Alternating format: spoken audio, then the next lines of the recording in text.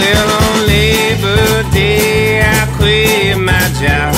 I went looking for the man. I went looking for the boss. I went looking for somebody to tell my story to.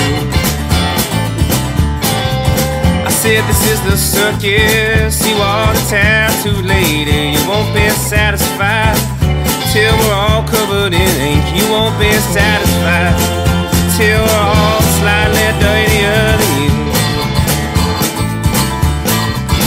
He said it's an hour old never if you ever want to get away. Then I quit.